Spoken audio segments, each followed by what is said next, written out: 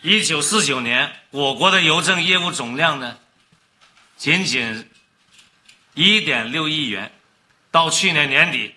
全国邮政业务总量已经达到了一万两千三百四十五亿元，我们七十年间增长了七千七百多倍。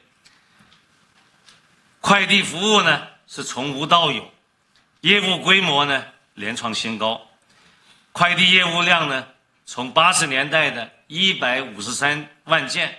激增到去年的五百零七亿件，今年呢有望突破六百亿件。我们这三十多年呢，年均增速高达百分之四十一点五。我国呢已经成为世界上发展最快、最具活力的新兴基地市场。我们的包裹快递量已经超过了美国、日本